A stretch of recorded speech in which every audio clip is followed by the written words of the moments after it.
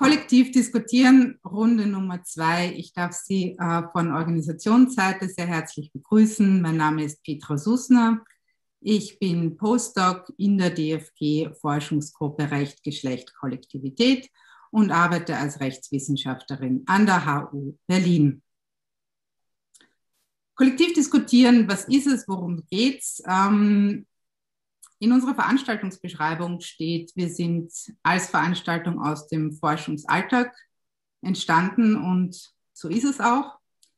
Wir hatten im März unsere erste Diskussionsrunde. Da bin ich noch selbst gemeinsam mit Susanne Bär, die Projektleiterin in meinem Teilprojekt ist, gesessen und habe diskutiert. Ähm, wir hatten zu Gast Nora Markert und moderiert hat Ray Trautwein. Unser Thema war damals postkategoral Denken, was können Asylrecht und Antidiskriminierungsrecht voneinander lernen. Jetzt haben wir Mai mittlerweile und ich freue mich sehr über die zweite Runde. Unser Thema ist heute Critical Race Theory. Was tut sich in deutschen Rechtsdebatten? Und bevor ich äh, an unsere Moderation Dunja Khalil übergebe, möchte ich auch kurz noch mal was zum Format im Zusammenhang damit sagen wir wollen nach wie vor oder nach wie vor ist der Anspruch von Kollektiv diskutieren, ähm, eine offene Diskussionsrunde zu sein. Nahe Zamur hat es gestern so schön gesagt, ähm, es ist eine Veranstaltung mit einem explorativen Charakter. Das heißt, es geht darum, wir wollen aus der Forschungsgruppe gemeinsam mit WissenschaftlerInnen, deren Arbeit wir spannend finden, unsere Gedanken, das, was uns beschäftigt, zur Diskussion stellen, Ideen erproben und auch ein bisschen einer breiteren Öffentlichkeit zeigen, was sich in so einer Forschungsgruppe tut. Das Ganze tun wir alle zwei Monate, immer am Donnerstag und in Kooperation mit dem Integrative Research Institute Berlin, dem kurz dem LSI Berlin. Genau. Bevor ich nun an das Panel selbst übergebe, möchte ich die Moderation vorstellen. Ähm, ich freue mich sehr, Dunja Khalil äh, gewonnen zu haben für die Moderation aus zwei Gründen. Erstens haben wir eine Moderation mit hoher inhaltlicher Expertise und zweitens, das freut mich persönlich, ist sie aus Wien. Ich komme selbst von der Uni Wien und freue mich sehr, hier die Gesprächsachse zwischen Berlin und äh, Wien auch aufrechterhalten zu können und entsprechend zu pflegen. Dunja Kali studiert am Juridikum in Wien mit Schwerpunkt Menschenrechte und ist langjährige und ausgebildete Trainerin und Beraterin in den Bereichen Antirassismus, Feminismus, Hass im Netz. Ihre thematischen und inhaltlichen Schwerpunkte sind Empowerment und, und das Stichwort Know Your Rights. Äh, international und national ist sie gut vernetzt. Zuletzt war sie in Wien äh, gestern zu sehen auf einer Pressekonferenz zum Thema antimuslimischer Rassismus. An dieser Stelle möchte ich jetzt von Organisationsseite einen Punkt machen, möchte noch kurz darauf hinweisen und auch begrüßen, Marie Hartwig aus dem Projekt ist auch hier. Marie Hartwig ist heute für Sie da, wenn Sie technische Fragen haben und ist über den Chat erreichbar. Ähm, und am Schluss werde ich mich nochmal melden mit Ankündigungen für die nächste Veranstaltung und aus der Forschungsgruppe. Nun aber, Dunja, werde ich ohne weiteres, wenn ich darf, an dich übergeben. Ja, sehr gerne. Vielen Dank für die Vorstellung, liebe Petra. Einen schönen Abend und herzlich willkommen auch von mir. Ich freue mich sehr, die heutige Diskussion moderieren zu dürfen und möchte, bevor wir uns dem heutigen Thema Critical Race Theory und unseren tollen Diskutantinnen widmen, vorab grundlegende Sachen zur Technik klären.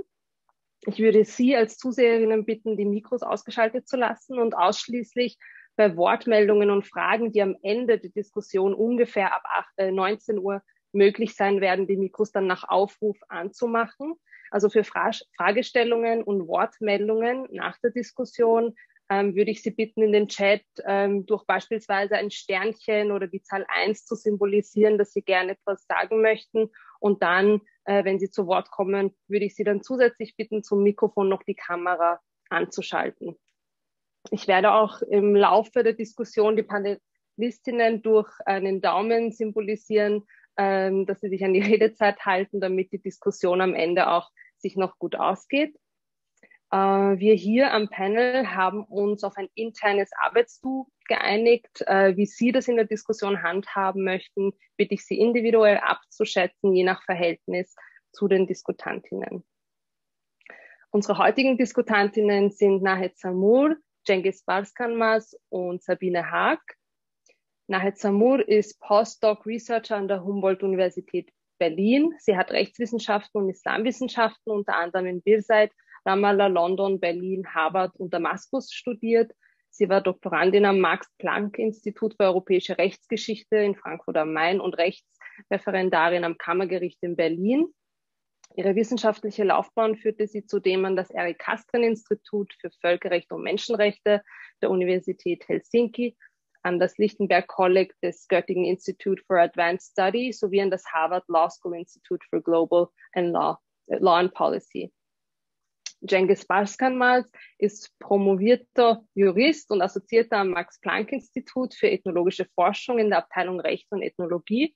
Er forscht und lehrt im Bereich des vergleichenden Verfassungsrechts, Europa- und Völkerrechts, der Menschenrechte und des Antidiskriminierungsrechts. Thematisch befasst er sich vor allem mit Critical, Critical Race Theory, Diversität und Intersektionalität. Er ist Mitbegründer der Critical Race Theory Europe welche eine Schlüsselrolle in der Entwicklung eines Critical Race Theory Netzwerks im europäischen Raum einnimmt. Sabine Haag ist tätig im Bereich der Soziologie, lehrt an der TU Berlin und beschäftigt sich in leitender Funktion wissenschaftlich im dortigen Zentrum für interdisziplinäre Frauen- und Geschlechterforschung. Weitere Arbeits- und Forschungsschwerpunkte sind unter anderem Gender Policies, feministische Erkenntnistheorie und Kritik sowie Queer-Theorie, Darüber hinaus befasst sich Sabine mit Debatten zu Demokratie, Rassismus, Sexismus und Geschlechtergleichheit und hat hier auch schon einiges publiziert. Gut, dann können wir auch schon in die heutige Diskussion zum Thema Critical Race Theory, was tut sich in deutschen Rechtsdebatten einsteigen. Im letzten Jahr konnten wir weltweit die Black Lives Matter Bewegung beobachten. Auslöser davon war der Tod von George Floyd am 25. Mai 2020. Erst vor einem Monat, also fast ein Jahr später, wurde das Urteil gefällt. George Floyds Mörder, nämlich der Polizist Derek Chauvin, ist schuldig. Angehörige vom Todes, von den Todesopfern von dem Anschlag in Hanau warten bis heute auf eine Erklärung und Konsequenzen. Und hier ist das Recht gefordert und gleichzeitig auch Teil des Problems. Der Hashtag kein Einzelfall zeigt, wie Polizeigewahrsam in Deutschland Schwarze und People of Color gefährdet und wie rechtsextreme Netzwerke mit dem Nationalsozialismus sympathisieren. Und mit der Debatte um den Rassebegriff im Grundgesetz ist die historische Vielschichtigkeit von Rassismen erneut aufgebrochen. Und wir fragen uns jetzt, was eben die Critical Race Theory im deutschsprachigen Raum leisten kann. Donald Trump hat noch im September ähm, per Executive Order sämtliche Weiterbildungen und Trainings ähm, mit Bezug zur Critical Race Theory verboten. Ich selbst kenne auch in Österreich äh, kaum Weiterbildungen und Trainings äh, in diesem Bereich. Und meine Frage äh, wäre jetzt an die Runde, was es mit, was es äh, mit der Critical Race Theory auf sich hat und auch das Verhältnis zur Critical Legal Theory. Was hat uns die Critical Race Theory in den letzten Jahren interdisziplinär und international gezeigt und was wollten die Co-Gründerinnen ähm, damit initiieren? Ich würde das Wort, also das können, könnt ihr Frau aussuchen, wer da beginnt.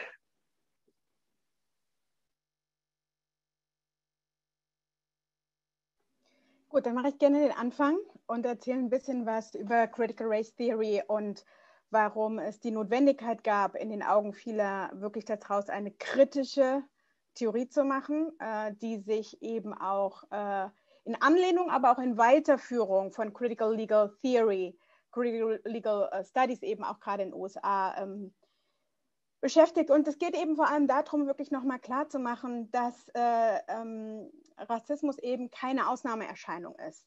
Etwas, das vielmehr strukturell und alltäglich und eben im Recht verhaftet ist, als Ordnungsmerkmal eben, also sowohl als Ordnungsmerkmal im Recht, aber auch als Ordnungsmerkmal gesellschaftlicher Art. Das wissen wir auch von den Kategorien Geschlecht und Religion und ganz vielen anderen, sexuelle Orientierung etc. Und dass eben auch ähm, äh, dass eben auch das ein Ausdruck ist der Moderne, weil natürlich ähm, Rassismus eben auch eine moderne Theorie ist, genauso wie Liberalismus, genau wie, genauso wie Säkularismus und natürlich auch der Kolonialismus, aber dass eben damit auch Rassismus und auch, also erstmal Rassismus als Teil des modernen Rechts auch verstanden werden muss. Ja? Ist eben auch kein etwas, das irgendwie, ähm, das ist zwar historisiert, äh, es muss zwar auch historisch informiert sein, aber es ist kein ähm, Phänomen der Vergangenheit, ja, sondern verflochten eben auch mit modernen Theorien. Und da gibt es natürlich ganz vielfältige Formen ähm, äh, des Rassismus, natürlich auch darunter Antisemitismus, Orientalismus, antischwarzer Rassismus, ähm, Rassismus in, gegen die Roma- und Sinti-Communities. Da gibt es leider so viele verschiedene Formen. Der Rassismus ist da gar nicht als ein monolithischen Block zu verstehen. Ich glaube, was aber wichtig ist, ist vielleicht einfach nochmal das ähnlich vielleicht wie der Feminist, für die feministische Rechtswissenschaft es so eine Art Aufbegehren, Auflehnen gab gegen diese Vorstellung, dass es ein abstraktes Individuum gibt, ja, ähm, ohne Geschlecht, ohne Religion, ohne Rasse.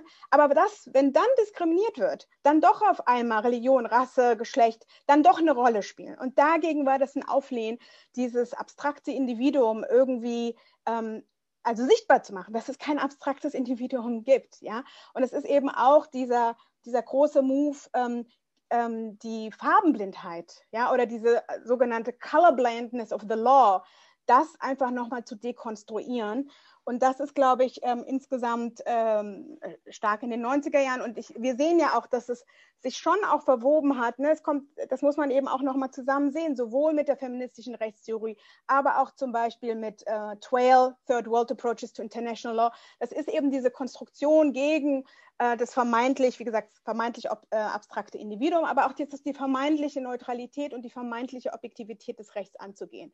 Und vielleicht erstmal so viel von meiner Seite, was eigentlich dieses Aufbegehren, diesen, dieser, ähm, diese Idee ist. Und, und dann eben auch vielleicht noch ein Punkt bei CRT, sowohl eben so diese historisch gewachsenen Verhältnisse, Machtverhältnisse, die eben durch Recht konstruiert werden und wo eben Rasse als Ordnungsmerkmal eine Rolle spielt, die sollen sichtbar gemacht werden, aber eben auch die Hoffnung durch CRT, Critical Race Theory, dass man eben doch auch mit dem Recht, ja, also ich sage jetzt mal mit dem Recht gegen das Recht, ja, so eine Counterdisciplinarity äh, würde wahrscheinlich mir sagen, dass man da eben auch mit dem Recht dagegen angehen kann, ja, und deswegen glaube ich, werden viele unserer Diskussionen die jedenfalls in der Rechtswissenschaft äh, oder durch CIT eben auch unterwegs sind, immer so ein Spannungsverhältnis zum Recht haben, ja, auf, also sichtbar machen, benennbar machen, was das Recht ähm, eben auch als dunkle Seite hat, aber eben auch welches Potenzial im Recht liegt und da diese Spannung einfach vielleicht auch fruchtbar zu machen.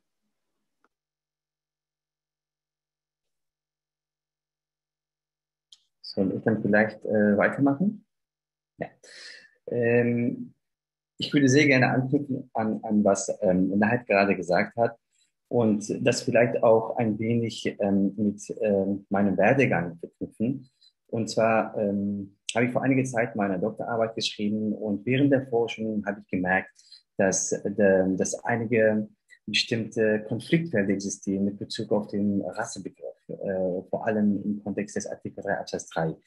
Und ich merkte ziemlich schnell, dass ich ähm, nicht weiterkam, dass ich mehr Input brauchte. Und so habe ich den Weg gefunden, um ähm, ja zu einer der Gründerinnen zu, äh, von, von Critical Race Theory zu gehen, nämlich zu Kimberly Crenshaw, wo dann wirklich für mich aus dem US-amerikanischen Kontext heraus noch einmal den, der deutsche Kontext etwas, ähm, ja, der deutsche Kontext für mich besser lesbar wurde.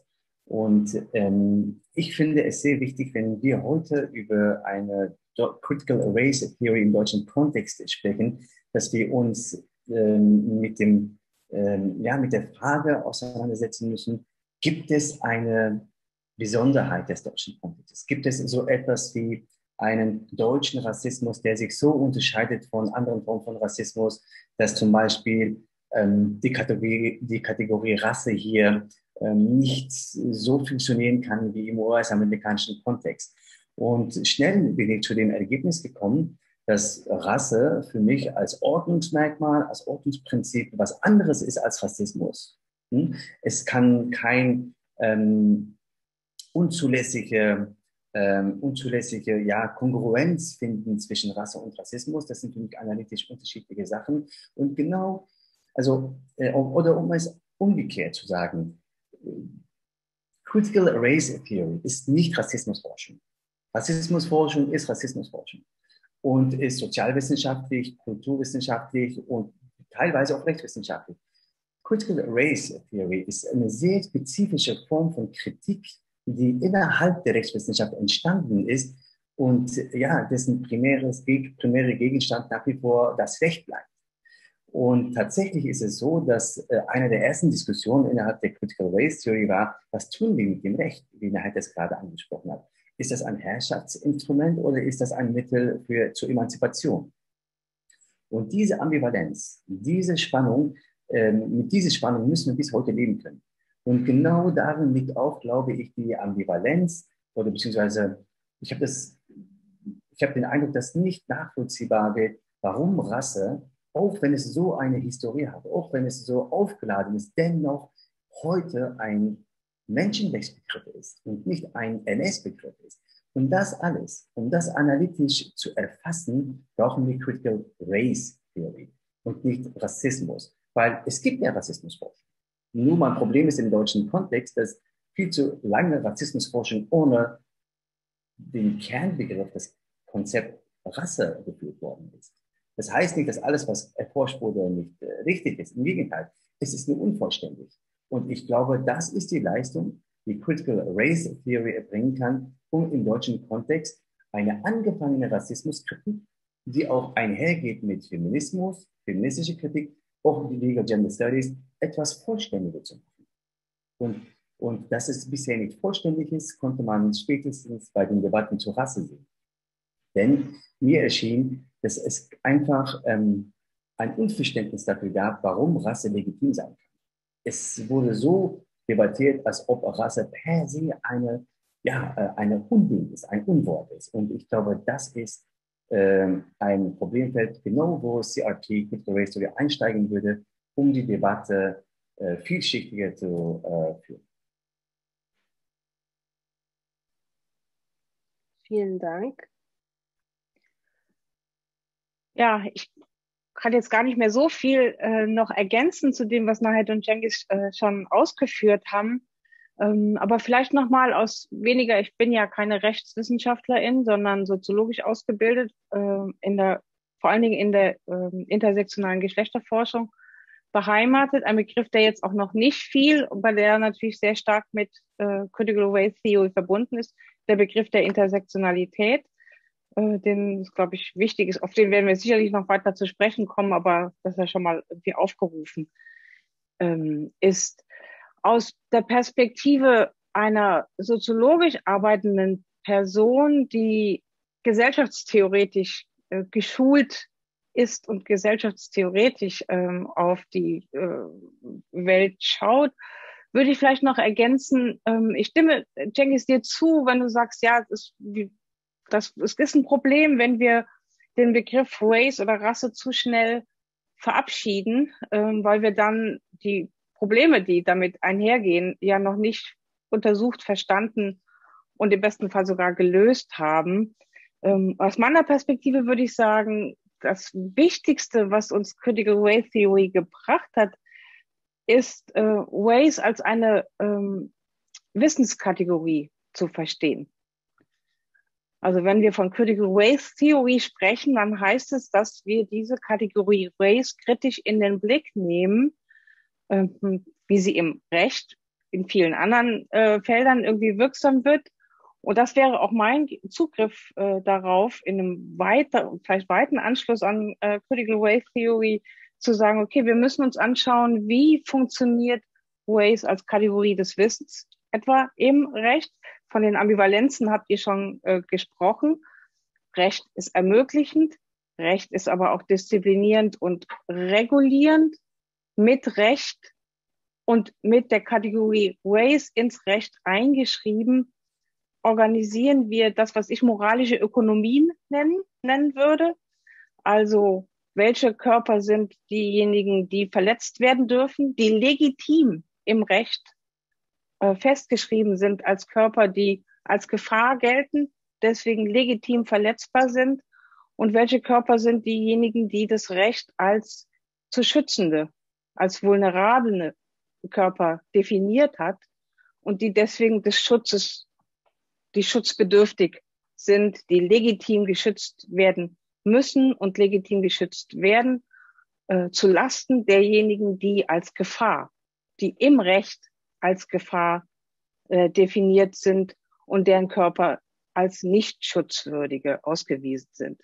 Das ist, glaube ich, für mich als gesellschaftstheoretisch arbeitende äh, Wissenschaftlerin so einer der zentralen ähm, Einsätze von Critical Wealth Theory und erklärt für mich auch, warum, Dunja, du hast es angesprochen, ähm, Donald Trump im letzten Jahr noch schnell diese Executive Order ausgegeben hat, das zu verbieten. Etwas, was wir hier in Europa ja vor allen Dingen in Bezug auf die Gender Studies erleben und erlebt haben.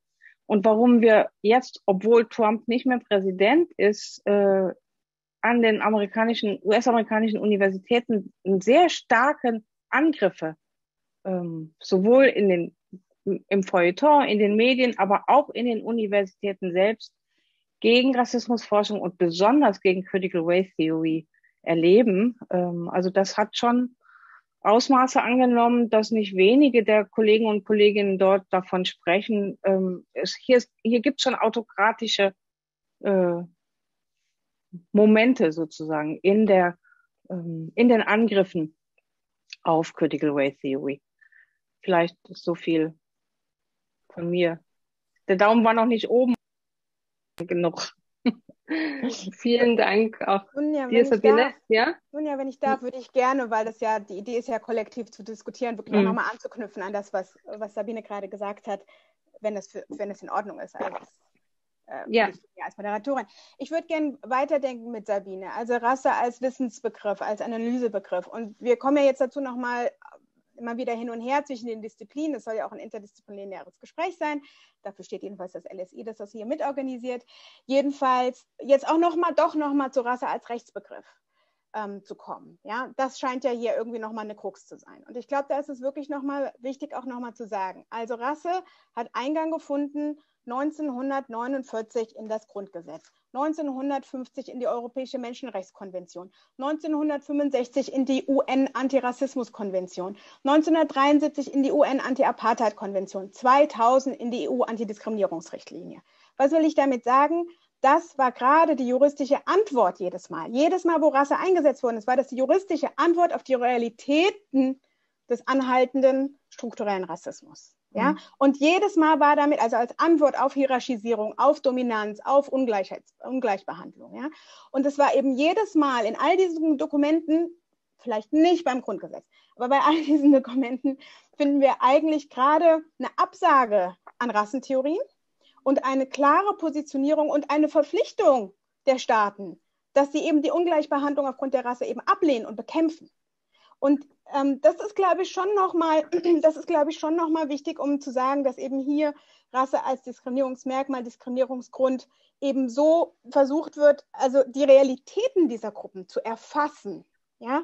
Ähm, und zwar auch als Begriff, der der eben historisch informiert ist, historisch gewachsen ist, begleitet wird durch Stigma und Stereotype, ähm, dass das alles in diesem Begriff da auch aufgefangen werden kann. Der Begriff ist auf der einen Seite zwar, äh, könnte man jetzt interdisziplinär sagen, natürlich irgendwie auch eng, dogmatisch, aber er, er bietet so viele Möglichkeiten, etwas adressierbar und benennbar zu machen. Und immer, wie gesagt, in Begleitung von eben einer Abkehr von biologistischen Menschenrassentheorien, aber eben auch immer zu sagen, hier erfassen wir etwas, wie Personen und Gruppen bisher in der historischen Gewachsenheit eben, Gewachsenheit eben ungleich behandelt worden ist. Und das, glaube ich, nochmal an dieser Stelle jedenfalls nochmal die Rolle von dem Rechtsbegriff einfach nochmal zu betonen, wäre mir vielleicht wichtig.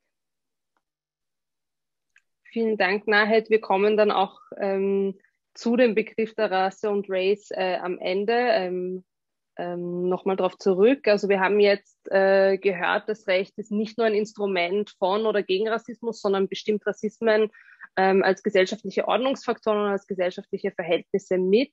Es erzeugt also rassifizierte ähm, Sichtbarkeiten beziehungsweise Unsichtbarkeiten, Vulnerabilitäten etc. Und jetzt wäre spannend zu wissen, was das konkret bedeutet. Also in Österreich hat die Bundesregierung beispielsweise ähm, ein Antiterrorpaket als Reaktion vom Terroranschlag am 2. November 2020 präsentiert, was umfassende repressive Maßnahmen vorsieht.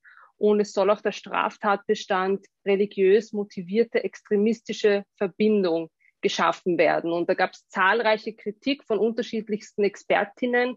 Und die Untersuchungskommission hat auch betont, dass im Terrorismusstrafrecht ähm, keine Defizite vorhanden sind. Das heißt, es gibt keinen Ergänzungsbedarf. Und dennoch äh, wollte die Bundesregierung ähm, diesen Straftatbestand. Und wie ist so ein Straftatbestand aus der Critical Race Theory Perspektive zu beurteilen? Und gibt es vielleicht vergleichbare Beispiele in Deutschland? Was sind da eure Einschätzungen?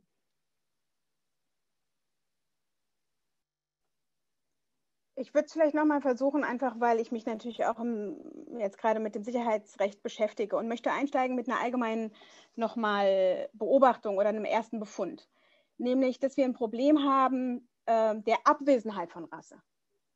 Dass wir eben gerade ganz viele Fälle, gerade auch gesetzte Fälle haben, wo gerade eben Rasse nicht gesehen wird. Und deswegen können unter, und, unter dem, sage ich jetzt mal, unter dem Schirm von Neutralität, Vivre Ensemble, Sicherheit, kann das alles durchgehen, weil eben Rasse nicht im Blick genommen wird.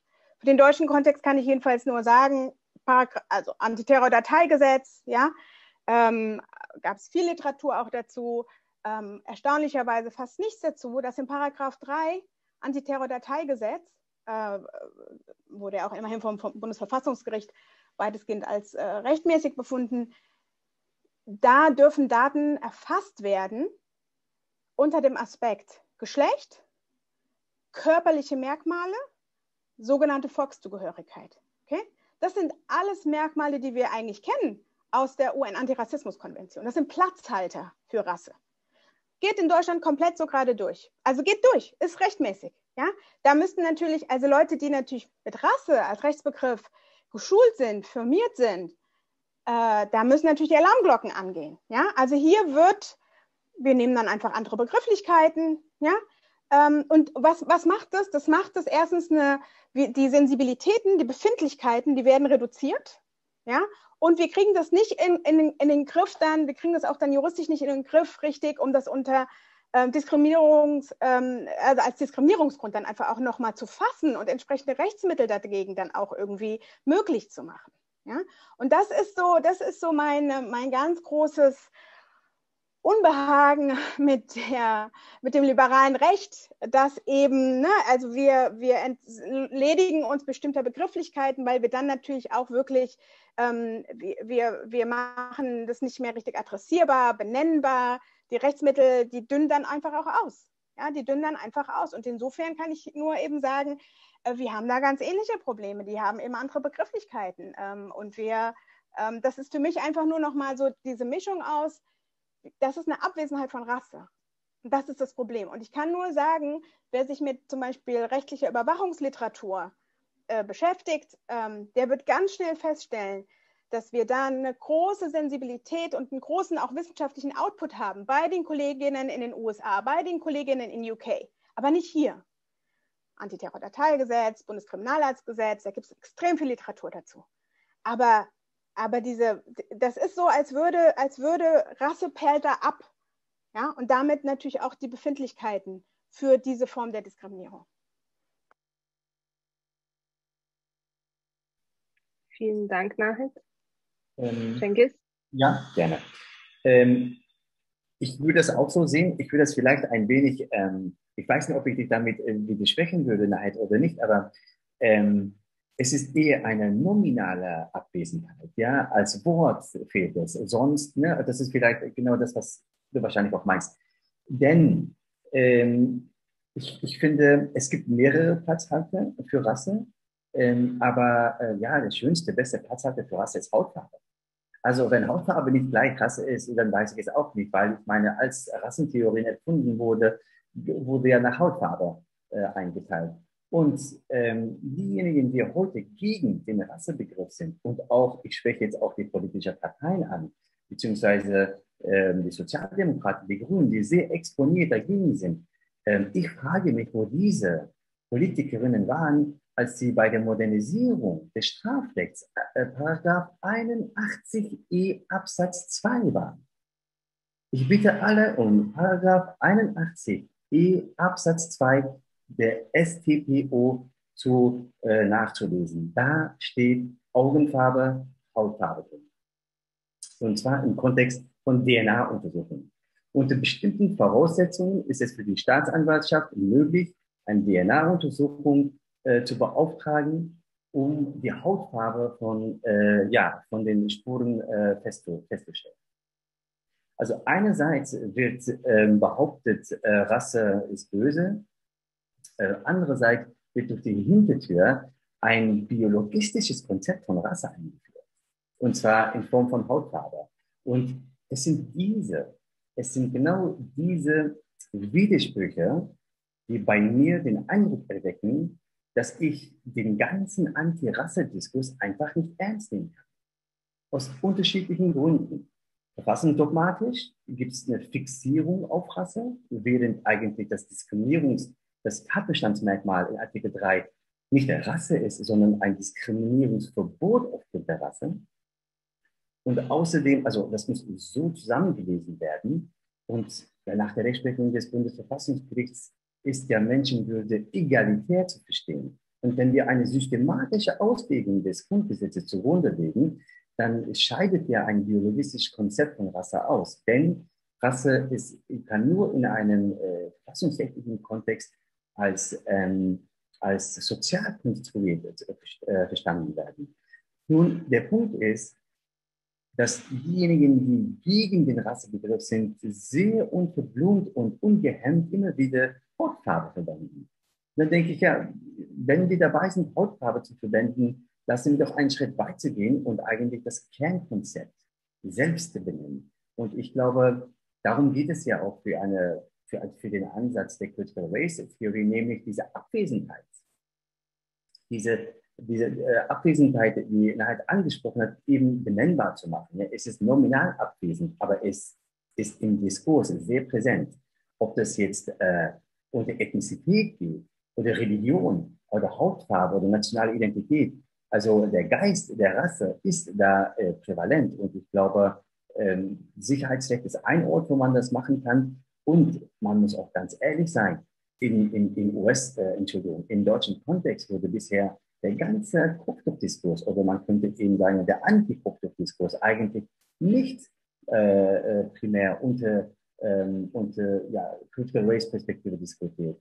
Es gibt einzelne Stimmen aus der feministischen äh, feministischen Wissenschaft, die genau, und zwar ist das internationale Literatur, aber nicht nur, die genau auf diesen Aspekt eigentlich ähm, hingewiesen haben, nämlich, dass es eine höchst razialisierte Diskurs ist, der Kopftuch-Diskurs. Und so können wir, glaube ich, mehrere Beispiele geben. Aber ich glaube, ich lasse es erstmal dabei. Okay, Cengiz. Ja, also glaube, ich würde das doch versuchen, noch mal ein bisschen, ähm, ja, weiß ich nicht, von der Seite dagegen zu sprechen. Also ich, ich gehe mit mit eurem Argument, dass wir ähm, nicht leichtfertig, also nein, deinen ersten Punkt finde ich total wichtig, dass ähm, Rasse, Race in die letztendlich auch Gründungsdokumente ähm, unserer westlichen Demokratien Eingang gefunden hat als ein Begriff, der sich gerade vom biologischen Rassismus ähm, und der Vorstellung sozusagen äh, von, dass es in der Tat im biologischen Sinne Rassen gibt, äh, verabschiedet hat und sich dem auch entgegengestellt hat. Und insofern ähm, eine kritische Intuition damit verknüpft gewesen ist. Ich bin mir nur nicht sicher, als eine, die vielleicht eben eher soziologisch und auch historisch über äh, Race und Rassismus nachdenkt, ähm, ob das funktioniert. Stuart Hall, der postkoloniale Theoretiker, ähm, hat in seinen jetzt vor zwei Jahren oder drei Jahren erschienenen, posthum erschienenen Vorlesungen zu äh, Rassismus, die von 1994, die jetzt eben erst 2018 erschienen sind oder 2017, äh, gesagt, äh, wir können feststellen, dass die Biolo dass wir die biologische Spur nicht loswerden. Das ist Halls Formulierung. dass in allen Versuchen sozusagen der äh, kritischen äh, Rekonzeptualisierung, der Reartikulation von Race, die er in diesen Vorlesungen sozusagen äh, nachvollzieht, sagt er, am Ende des Tages stellen wir fest, wir werden die biologische Spur im Rassebegriff nicht los. Und das ist für mich sozusagen die, das größte Fragezeichen, dass ich mit der Verwendung, der weiteren Verwendung sozusagen von des Rassebegriffs habe. Also d'accord, wir dürfen ihn nicht verabschieden, weil wir ihn verstehen und analysieren äh, müssen als also als äh, Form epistemischer Gewalt auch. Ne?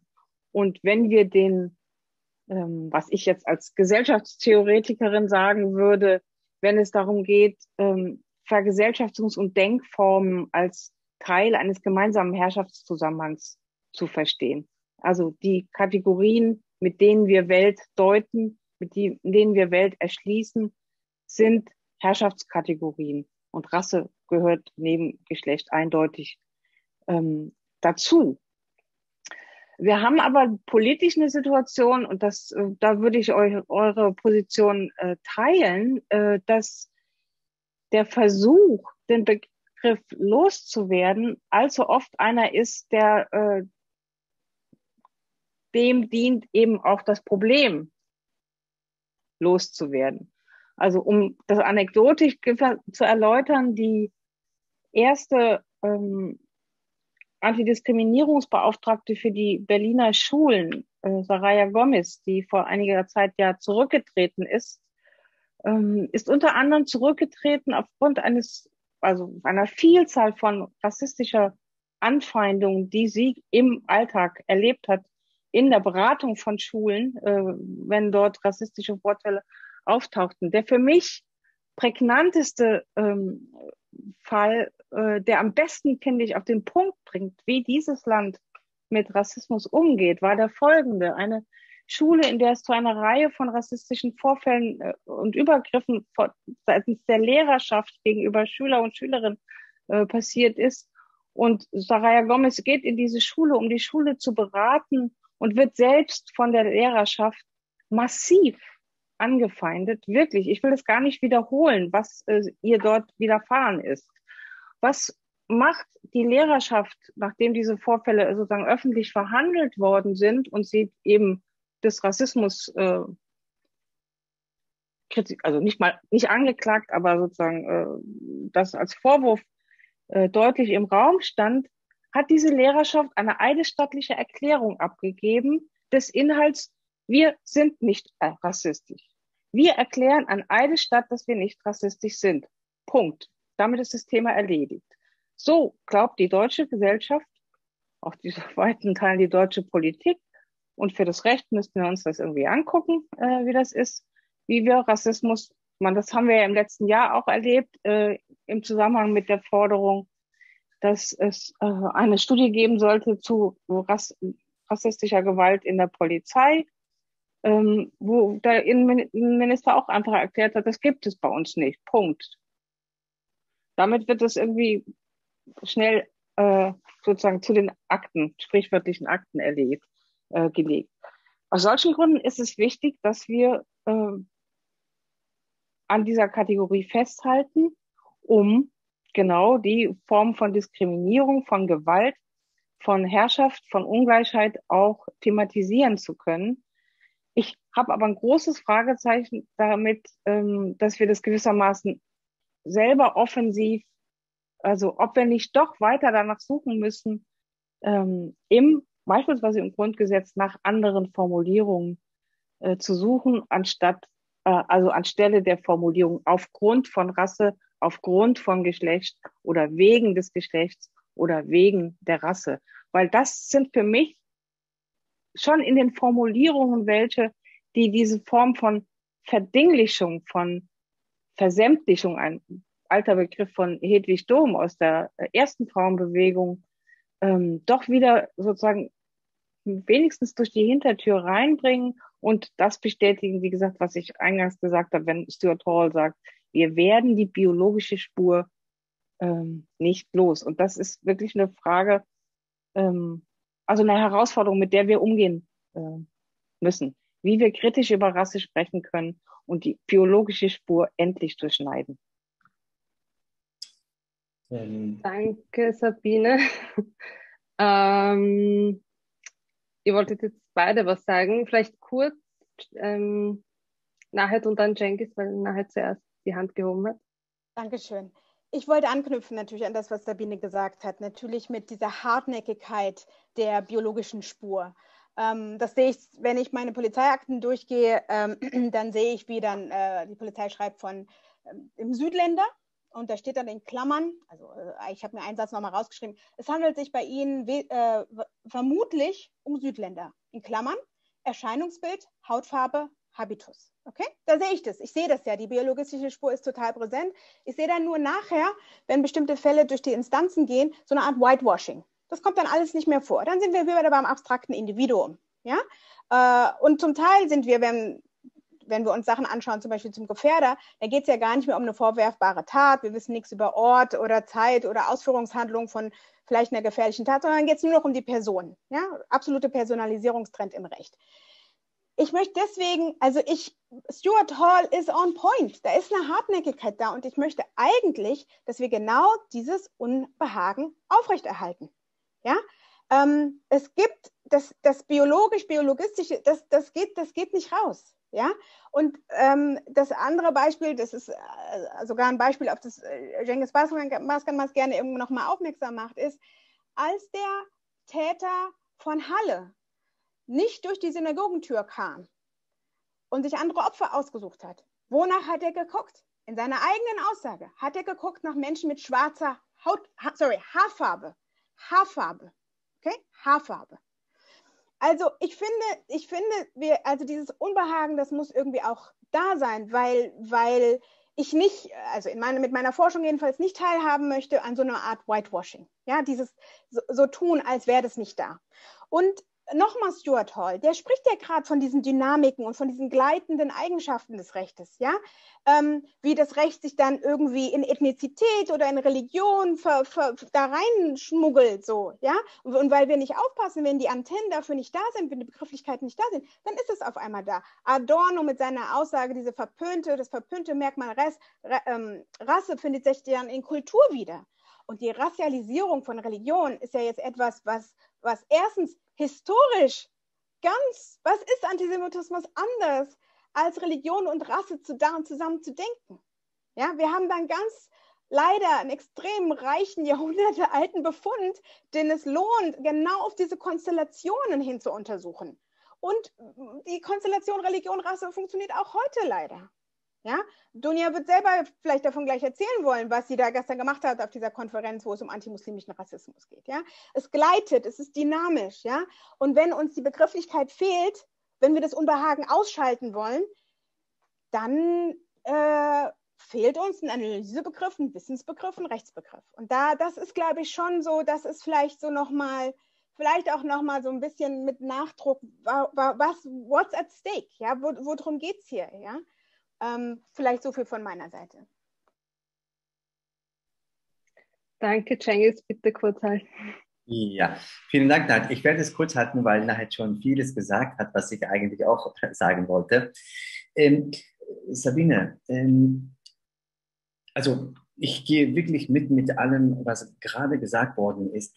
Ich frage mich nur, wenn, ähm, also ob wir wirklich ähm, ob es klug wäre, Wasser aus dem Grundgesetz äh, zu stärken, aus einem ganz bestimmten Grund. Ich finde, solange, solange der Begriff Menschenwürde in Artikel 1 steht, sollten wir auch an Rasse halten. Weil die Unantastbarkeit der Menschenwürde im Grundgesetz also kann nicht gelesen verstanden werden ohne den Begriff Rasse. Der Hintergrund der Menschenwürde-Begriff ist, dass eine Rassenvernichtungspolitik stattgefunden hat. Und das sind zwei sehr zentrale Begriffe im deutschen Grundgesetz, die meiner Meinung nach nur zusammengelesen werden Und umgekehrt gesagt, also nicht von Menschenwürde aus gestartet, sondern von, von, äh, von dem Rechtsbegriff Rasse aus äh, argumentieren, würde ich sagen, dass, das, dass der Begriff Rasse im Grundgesetz fast der erste Stolperstein der Vergangenheitsbewältigung ist im deutschen Kontext. Also es steht seit 49 da und es ist kipp und klar, warum es dort steht. So, wenn wir das einmal so festhalten, natürlich muss das nicht unbedingt eine Verdinglichung heißen. Die Art und Weise, wie der Begriff Geschlecht in 49 eingeführt wurde, verstanden wurde, ist doch völlig unterschiedlich, wie wir heute Geschlecht in der Rechtsprechung des Bundesverfassungsgerichts verstehen. Das heißt, auch das Bundesverfassungsgericht kann diese, diese Interpretationsleistung schaffen, nämlich Geschlecht hin zu einer, zu einer sozialen Konstruiertheit. Und das kann meine, meiner Meinung nach auch mit dem Begriff Rasse funktionieren. Dass das funktionieren kann, zeigt bereits ähm, die Rechtsprechung des Europäischen Gerichtshofs für Menschenrechte und der Gerichtshof des, äh, genau, des Gerichtshofs der Europäischen Union. Und ähm, daher bin ich ein wenig ähm, ja, skeptisch, ähm, also, weil es hört sich danach an, als ob wir jetzt verstanden haben, dass es keine Rassen gibt und es ist biologistisch. Damals war es vielleicht eine richtige Reaktion auf was passiert ist. Und genauso richtig ist es heute auch noch daran festzuhalten.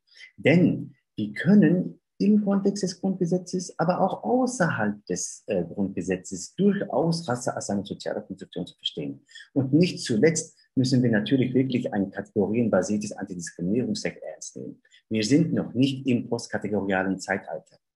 Und ich, ähm, genau, also schon vom Anfang an wussten Critical Race Theory Scholars, dass Rasse eine soziale Konstruktion ist, dass man kritisch mit dem Begriff Rasse umzugehen hat. Daher Critical Race Theory. In der Hinsicht ist es vielleicht schon ein postkategorialer Ansatz, aber ohne Lettre. Vielen Dank, Cengiz. Ich wollte auch selbst aus Österreich einbringen, weil ich ja selbst aus der Praxis komme, in vielen verschiedenen zivilgesellschaftlichen Organisationen gearbeitet habe und auch selbst aktivistisch in Wien unterwegs bin und die Seite auch sehr stark sehe. Und bei uns in Österreich ist es so, dass ähm, verschiedenste zivilgesellschaftliche Organisationen tatsächlich die Entfernung des Rassebegriffs aus ähm, dem Strafrecht und aus den Antidiskriminierungsgesetzen fordern. Und äh, es soll auch bald äh, Verhandlungen geben zum Aktionsplan gegen Rassismus. Und auch da wird äh, von verschiedensten Organisationen die Entfernung ähm, beantragt werden. Wir haben das Gleichbehandlungsgesetz, welches Diskriminierungen im Arbeits, äh, in der Arbeitswelt und beim Zugang zu Gütern und Dienstleistungen regelt, wo die, dieser Begriff Rasse von der Antirassismusrichtlinie nicht übernommen wurde und durch ethnische Zugehörigkeit ersetzt wurde. Es ist ja so, dass wenn man den Begriff entfernt, dann ist das, was Rasse sozusagen ähm, darstellt, ja nicht weg, sondern einfach anders benannt. Und gerade im aktivistischen Bereich, wo es sehr viel um sprachliche Sensibilität geht, und wird auch gefordert, dass man den Begriff äh, entfernt, weil es für Betroffene einfach retraumatisierend sein kann und verletzend sein kann, gerade aufgrund der Historie und der Verbindung zur NS-Zeit ähm, hat es einfach im deutschsprachigen Raum eine andere Bedeutung und ähm, da es da um sehr viel Sensibilisierung geht und wie Betroffene mit diesem Begriff umgeht, fordert man auch da, dass äh, der ähm, ersetzt werden soll. Ähm, das, was er bedeutet, äh, verschwindet ja nicht, äh, wenn der Begriff weg ist. Äh, viele verwenden dann auch einfach den englischen Begriff Race, weil er ja übersetzt was anderes bedeutet. Und ähm, ja, also nur auch um da die ähm, andere ähm, Sichtweisen sozusagen da darzustellen. Ähm, ja, dann würde ich auch schon weitergehen, ähm, denn wenn wir uns von dieser ähm, starken wie schwach beleuchtet, beleuchteten Wirksamkeit von Recht und äh, Rassismen, wenn wir davon ausgehen, von der hohen Bedeutung für unser Zusammenleben, äh, welche Fragen stellen sich da für die Zukunft? Äh, also vor allem auch für äh, in, an Bildungseinrichtungen, zum Beispiel wenn ich jetzt an unsere Uni denke, das Juridikum. Ich habe bisher eine einzige Veranstaltung im Jahr 2018 gesehen, wo die Critical Race Theory ganz nebenbei ähm, genannt wurde. Und Ende dieses Jahres bringt die Zeitschrift Juridikum zum Beispiel erstmals auch einen Schwerpunkt zu Recht und Rassismus heraus und wenn ich mich jetzt als Studierende entscheiden würde, in Zukunft ähm, dafür offene Forschungsfragen zum Thema Race und Recht aufzugreifen, was sind da die Kernfragen, die mich da umtreiben sollten und wo finde ich Stärkung, Motivation, wo kommen für mich Hindernisse äh, im universitären Umfeld? Ähm, Genau.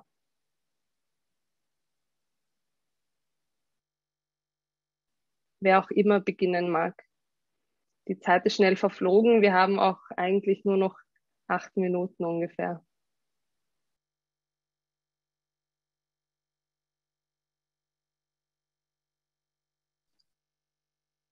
Ja, vielleicht fange diesmal ich mal ähm, an ähm, und auch eher erfahrungsbasiert. Ich habe zum Beispiel in den vergangenen Jahren häufig ähm, in der Lehre in den Gender Studies die Erfahrung gemacht, dass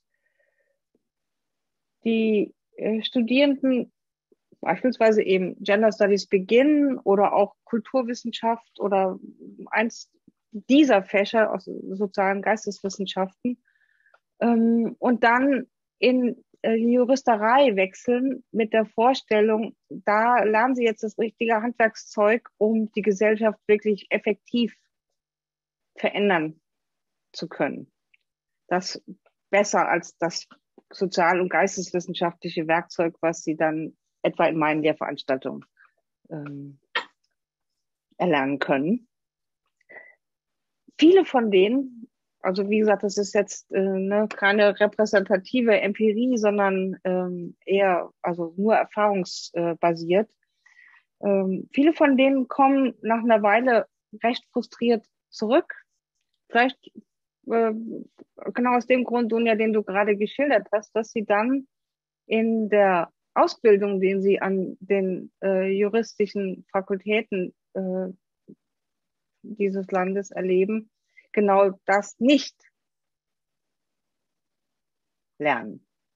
Genau davon nichts erfahren ähm, und sondern jetzt mal ein bisschen platt gesprochen, sozusagen erstmal äh, relativ äh, konventionell irgendwie Paragraphen lernen, also aber keine ähm, kritischen Instrumente, keine kritischen theoretischen Instrumente beispielsweise kennenlernen, überhaupt das Recht zu verstehen.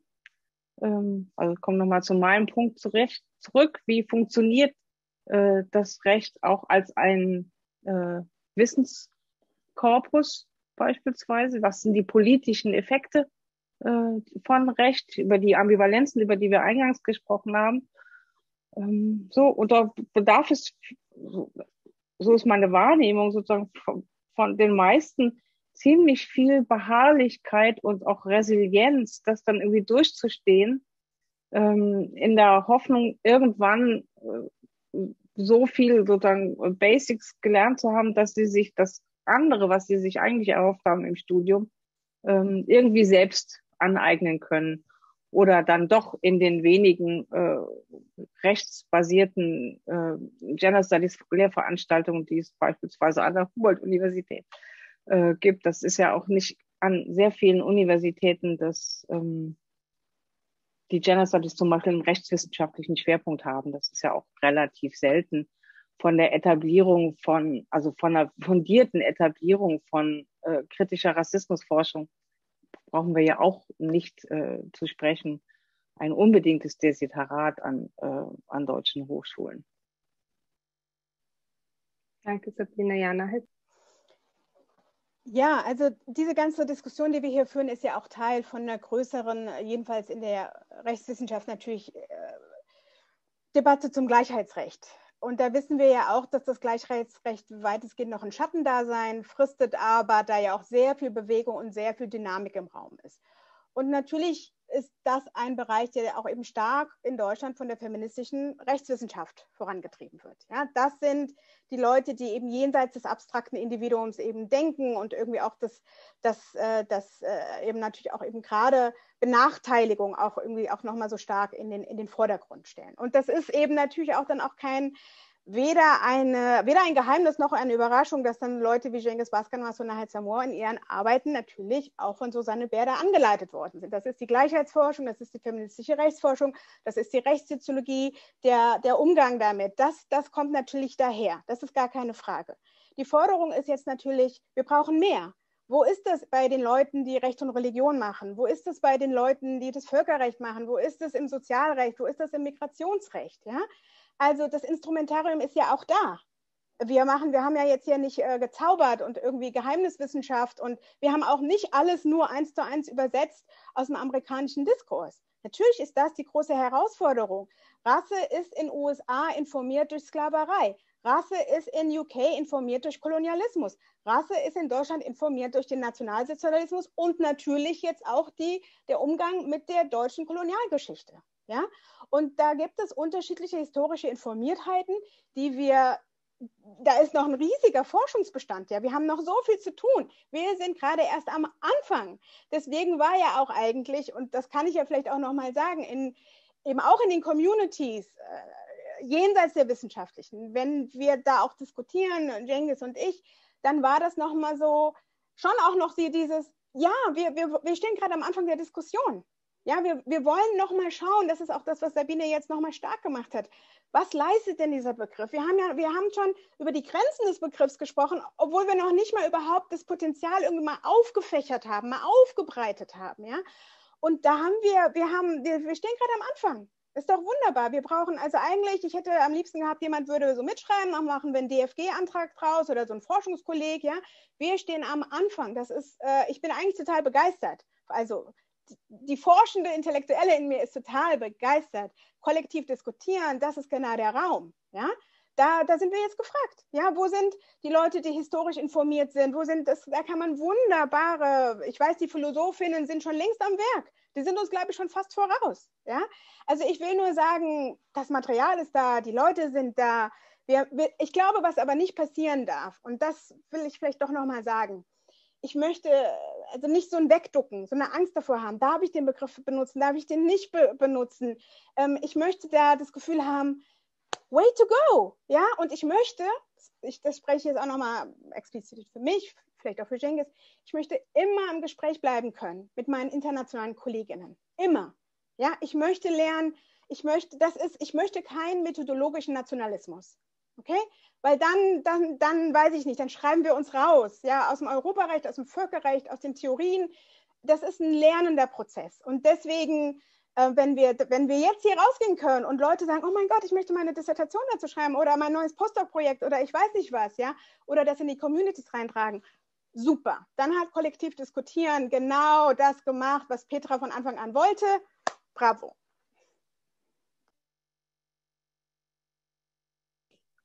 Danke. Cengiz?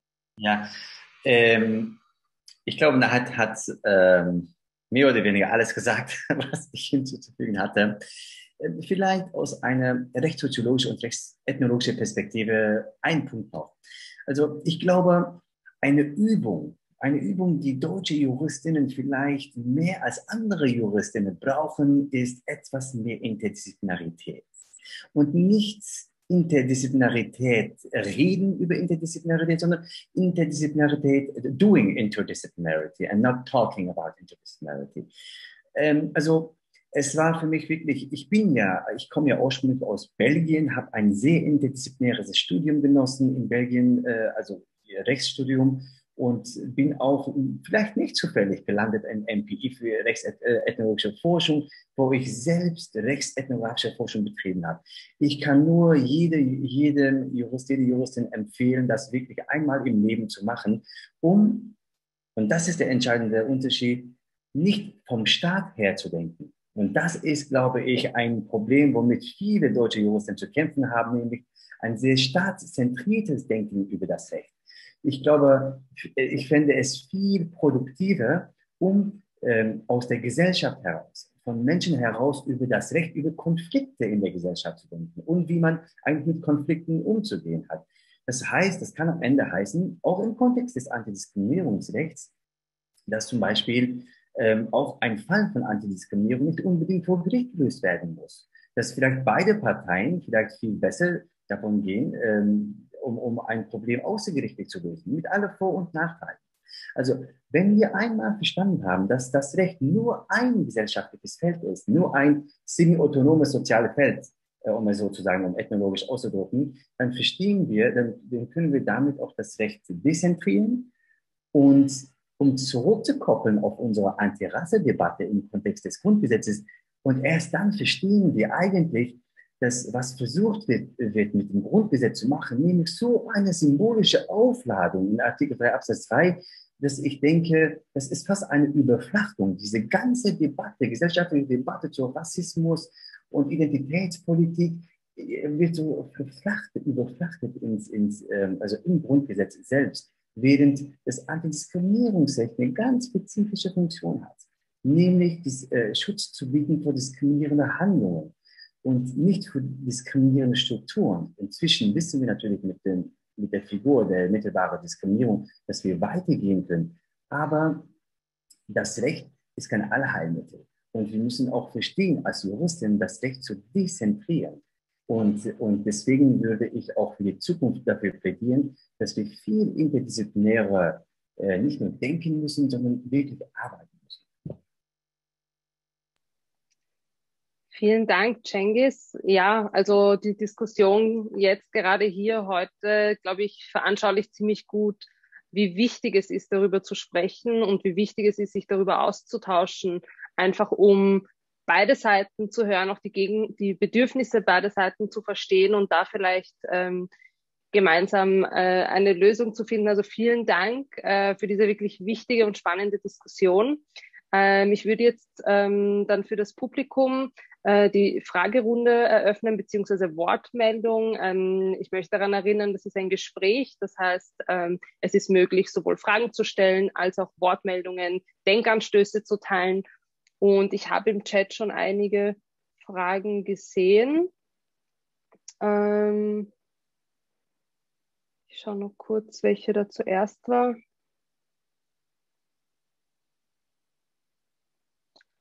Ähm, Sharon Dodua Otto hat eine Frage gestellt. Ich würde ähm, Sie vielleicht bitten, ähm, die Frage per Mikro und Kamera zu stellen.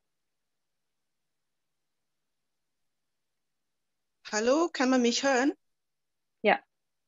Ich kann meine Kamera leider nicht anmachen. Ist okay. Okay. Es war ähm, vorher, vorhin die Rede von Rasse als Begriff äh, das ungemütlich machen. Wir müssen diese Unbehagen, Entschuldigung, dass es ein Unbehagen bringt. Und ich habe die Frage gestellt, um wessen Unbehagen geht es? Und das war eine ernst gemeinte Frage, weil ich das Gefühl hatte, dass meine, also ich gehöre zu dem Teil von Menschen, die ähm, argumentieren oder die den Argumenten anschließen, ähm, dass das Rassebegriff ersetzt werden könnte. Und ich würde, also spontan gesagt, ich finde sowas wie Rassifizierung ganz gut. Ähm, und mir geht es nicht um ein Unbehagen, wenn ich das sage. Und deswegen äh, kam die Frage für mich auf.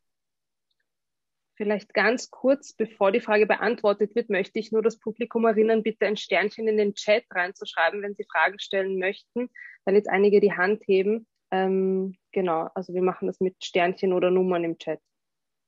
Danke. Ich versuche das mal aufzugreifen, weil ich ja auch das Unbehagen in, äh, in die Diskussion gebracht habe. Und ich meine, glaube ich, dass erstens dieses Unbehagen, äh, bei dem es darum gilt, das in Produktivität umzuwandeln. Das darf natürlich nicht dabei stehen bleiben. Aber erstmal dieses Unbehagen in, dieser, in diesem Spannungsverhältnis zwischen dem biologisch-biologistischen und dem sozialen. Ich habe ein Unbehagen, wenn ich diese Polizeiakten lese und da steht da drin Südländer, Erscheinungsbild, Hautfarbe, Habitus. Das, das, das macht was mit mir. Das macht, macht was mit mir ganz körperlich, ja, obwohl ich äh, eigentlich versuche, eine rechtswissenschaftliche Arbeit draus zu machen. Ja. Ähm, ich, äh, da gibt es aber auch ein Unbehagen, wenn man Gesetzesmaterialien liest. Ja. Es gibt ein Unbehagen, ich hatte vorhin den Antiterror-Dateigesetz, Paragraph 3 äh, schon erwähnt. Ich will nur sagen, das ist ein Unbehagen ähm, bei allen. Bei allen.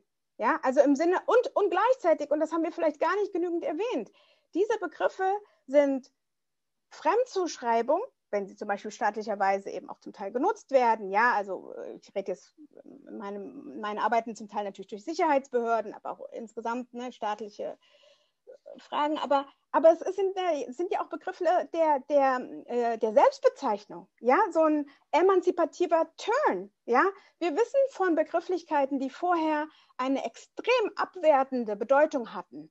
Schwul, queer, schwarz, ja, und die geturnt worden sind, ja, die, wo die, auch die Bewegung sich das als Badge of Honor Also das, das füllen wir jetzt auf. Ihr dachtet, ihr könntet uns mit, damit ab degraden. Wir nutzen das ja ganz anders. Ja? Und ich glaube, was, was heißt denn, was heißt denn Black Lives Matter anderes, ja. Und ähm, es gibt eben, wir wissen es von Kolleginnen, es gibt irgendwie auch Black Health, es gibt, ja, es gibt, ja, und das, ich will damit nur sagen, ähm, erstens Spannung, Unbehagen, Produktivität, verschiedene Turns, ja. Das, das, also, jeden, also mindestens wissenschaftlich muss das möglich sein. Aktivistisch wird das schon praktiziert und ich will da einfach nur ähm, äh, ich, ich, ähm, ich, ja, mir geht es darum, benennbar, adressierbar, ähm, die Begriffe zu haben, die wir historisieren können, womit wir, womit wir arbeiten können. Vielen Dank, Nahid. Wenn es in Ordnung ist, würde ich zur nächsten Frage übergehen oder möchte Cengiz oder Sabine noch was dazu sagen? Aber es ist ja eh von Nahid auch ähm, das Unbehagen angesprochen worden. Als nächstes Susanne Bär.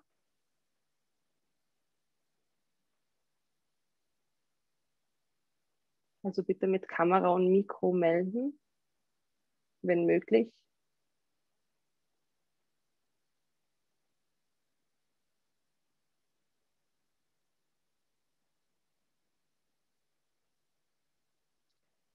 Ähm, gut, wenn sich Susanne Bär noch nicht meldet, dann würde ich ähm, David Simpson vorziehen. Bitte mit Mikro und Kamera. Danke. Hallo, vielen Dank äh, und es freut mich sehr, diese, diese Veranstaltung ähm, äh, auch äh, äh, zuhören zu können. Ich, ich, bin in Österreich aufgewachsen, bin jetzt aber seit 14 Jahren in den USA und habe mich äh, an der Law School mit Critical Race Theory ähm, beschäftigt und spezialisiert. Ähm, und das war damals was ganz Neues für mich, weil ich äh, aufwachsen in Österreich einfach nicht ähm, gesehen habe, gehört habe und offenbar ist es immer noch so, dass äh, Critical Race Theory nicht wirklich eine Rolle spielt.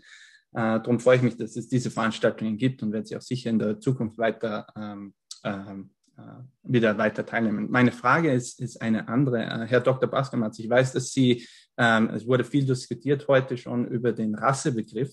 Äh, ich habe eine weitergehende Frage über den Rassismusbegriff, ähm, äh, weil in den USA ähm, äh, natürlich eine, ein Teil der Diskussion ist, äh, in der Critical Race Theory äh, vorzubringen, dass Rassismus viel zu oft, vor allem im Recht, als Einzeltat eines Bad Apples sozusagen ähm, verstanden wird.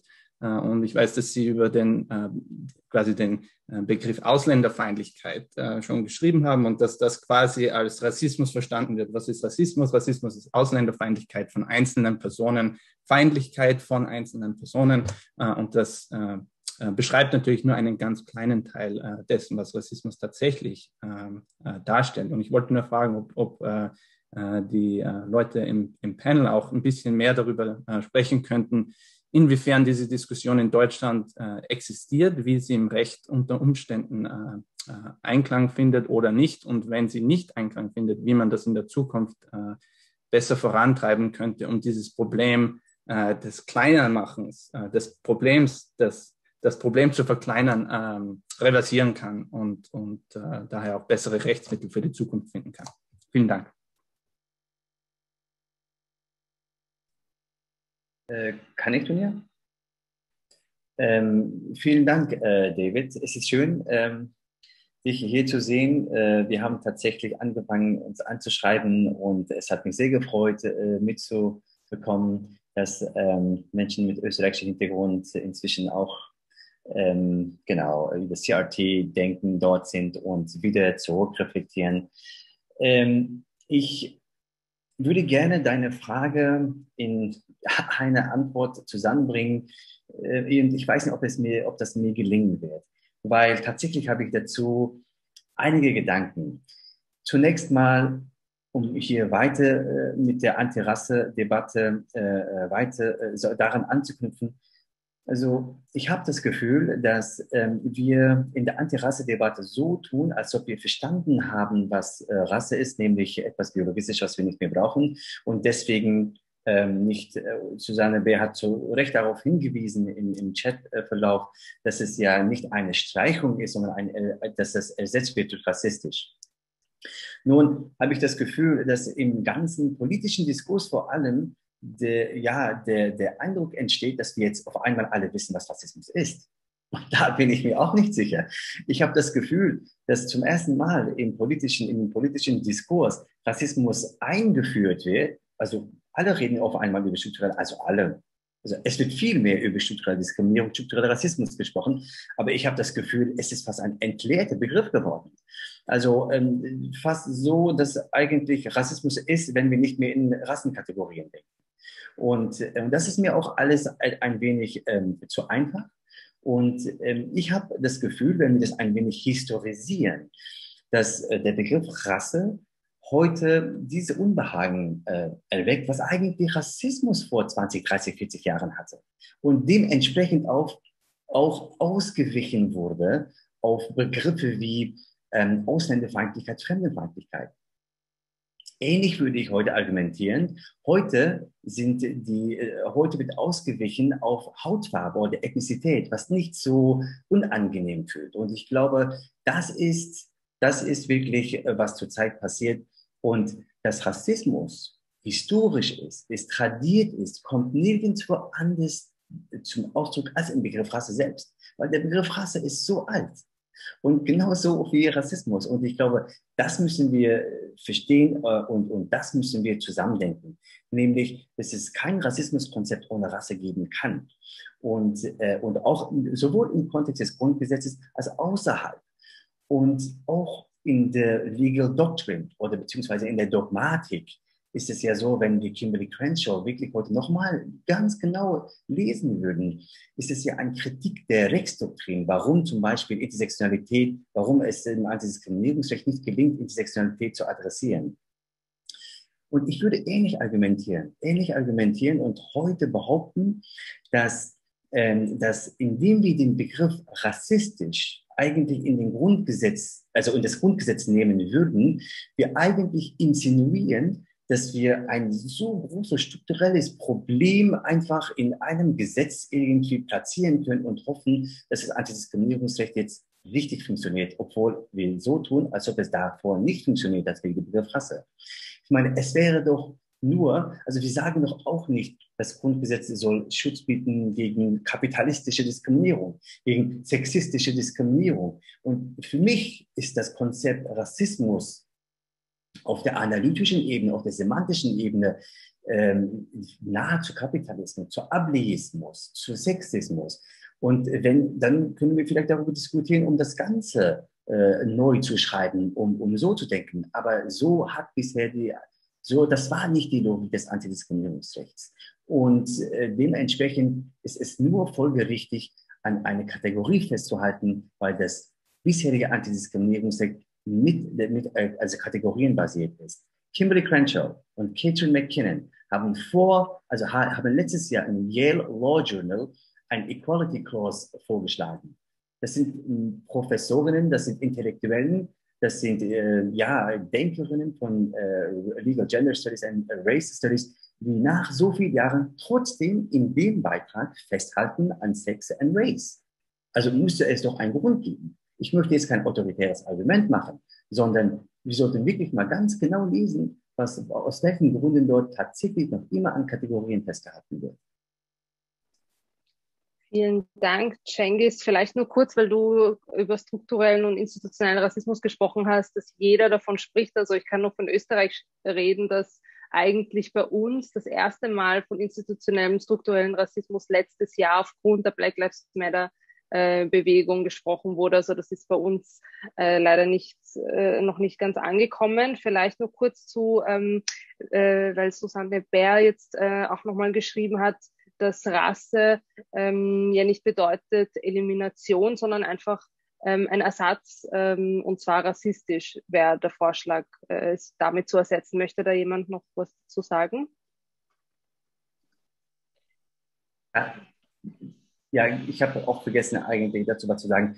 Also, wenn wir zum Beispiel den Uga-Uga-Beschluss des Bundesverfassungsgerichts äh, nehmen, das ist eine Entscheidung von einigen Monaten und ähm, eine wirklich äh, wegweisende Entscheidung, um äh, ja, das Diskriminierungsverbot aufgrund der Rasse stark zu machen, beziehungsweise die Bekämpfung von Rassismus mit dem Recht. Ähm, nur, also ich frage mich, ob das wirklich, ähm, also wenn wir es ganz genau lesen, steht an einer Stelle, dass äh, äh, Artikel 3 Absatz 3 ähm, gegen rassistische Diskriminierung gerichtet ist. Das müsste mehr oder weniger the wording sein. Ähm, ich glaube, noch steht rassistisch nicht im Grundgesetz. Noch steht da Rasse. Und Rasse und rassistisch ist nicht gleich. Also ich würde nicht so weit gehen, zu sagen, dass das, das Artikel 3 Absatz 3 gegen rassistische Diskriminierung äh, gerichtet ist, sondern gegen rassische Diskriminierung. Das wäre tatbestandsmerkmalmäßig und äh, verfassungsdogmatisch, glaube ich, äh, das, das wichtige Wording. Und ähm, das, was die Politik jetzt möchte, vielleicht, äh, vielleicht ist das jetzt ein sehr kluger Zug, um die Weichen zu stellen, zu sagen, jetzt kann die Politik darauf hinweisen, dass eigentlich das Bundesverfassungsgericht das auch als rassistische Diskriminierung liest, aber glaube ich, verfassungsdogmatisch, Tatbestandsmerkmal auf der Ebene des Tatbestandsmerkmals, glaube ich, ist es nur folgerichtig zu behaupten, es ist rassische Diskriminierung oder beziehungsweise Diskriminierung aufgrund der Rasse. Und zwischen Rasse, Razialisierung, um auf die Frage von Sharon zurückzukommen, Rasse, Razialisierung und Rassismus das sind unterschiedliche Aspekte, die voneinander unterschieden und nuanciert werden müssen und so auch analysiert werden müssen und auch in einem Zusammenhang natürlich. Aber die können nicht alle zusammenfallen. Und ich glaube, das ist das Problem zurzeit, glaube ich, im Antirasse-Diskurs. Danke, Cengiz. Ähm, Sabine, dein Mikro ist. Mhm. Ja, ich würde gerne noch was äh, dazu ähm, ergänzen. Das taucht so kurz auf, naja, sozusagen, warum soll das nur für Rasse geändert werden? Ich wäre absolut dafür, sozusagen darüber nachzudenken, äh, dass das nicht nur für Rasse äh, geändert wird, sondern auch für Geschlecht, in der Tat.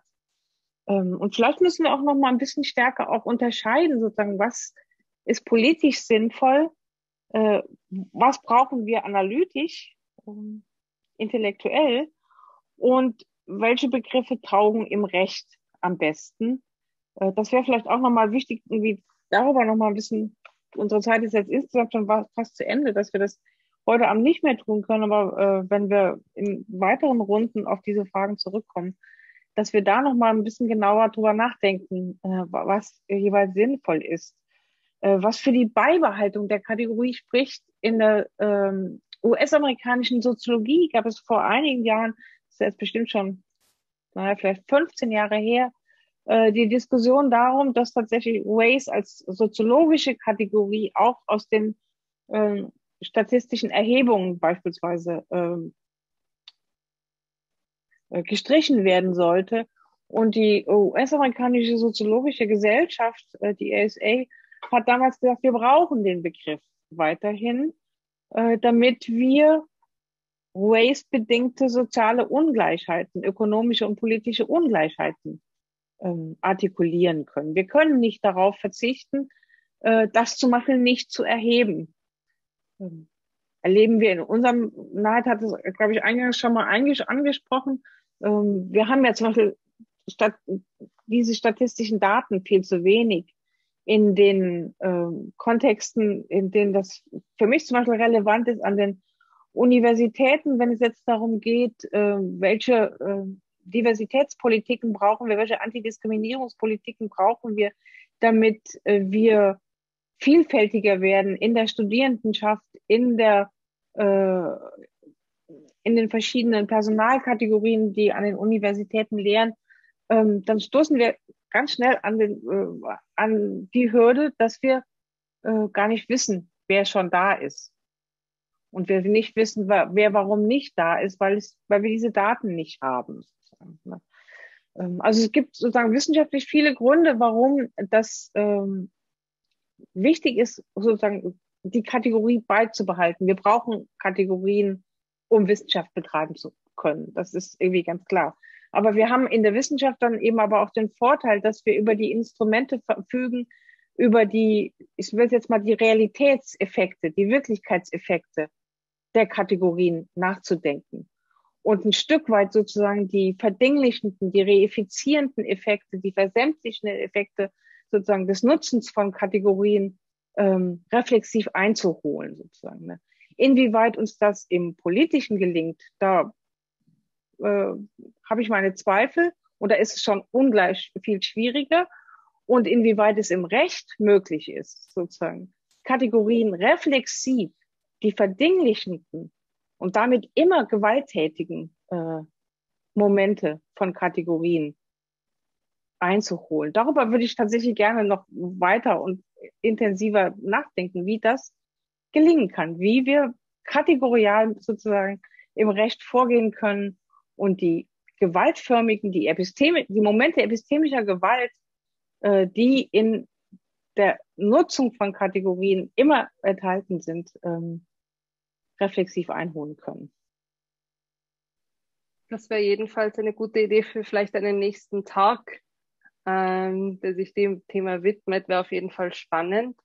Ähm, ich würde als nächstes äh, Muriel González Atenas bitten, die Kamera und Mikro einzuschalten für die Frage.